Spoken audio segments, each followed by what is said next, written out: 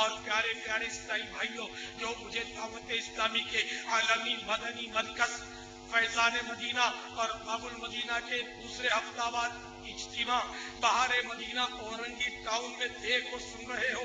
ऐ मुल्क के मुख्तलिफ़ शहरों और बाबुल मदीना के मुख्तलिफ़ इलाकों और दुनिया के मुख्तलिफ़ मुल्कों में इंटरनेट के ज़रिए सुनने और देखने वालों लरस जाइए और घबरा कर उठिए।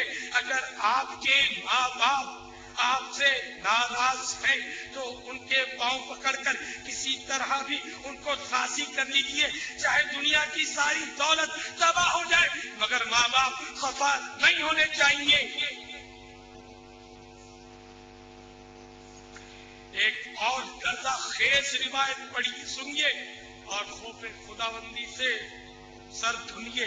हज़रत सैयदना अब्दुल्ला इब्न अब्बास रज़ी अल्लाह तआला रिवायत करते हैं, सुल्तान दारैन नानाए हसनैन अज्ज व जल्ल।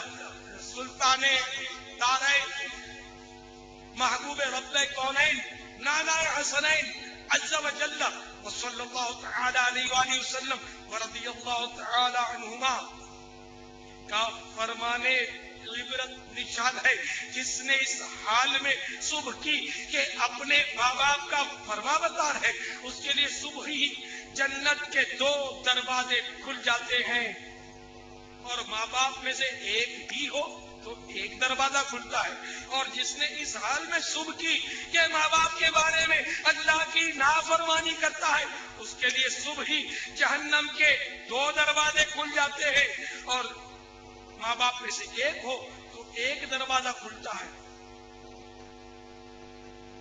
एक शख्स ने अर्ज़ की, अगरचे माँ बाप उस पर जुल्म करें। फरमाया, अगरचे जुल्म करें, अगरचे जुल्म करें, अगरचे जुल्म करें।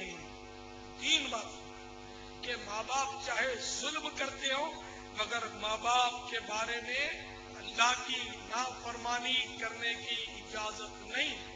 उन पर जुल्म ज्यादती नहीं की जाएगी। उनसे बनाकर रखी जाएगी।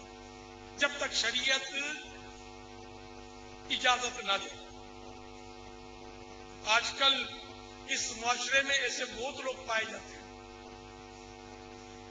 कि जो माँ के कहने पर बाजों का बाप पर जुल्म करते बाप से बदसलूकी करते बाप को खर्ची नहीं देते ठीक है, बाप अगर अपनी माँ पर जुल्म कर, आपकी माँ पर जुल्म करता है तो ये बाप का मैटर है। आखिरत में ये इसको भुगतेगा।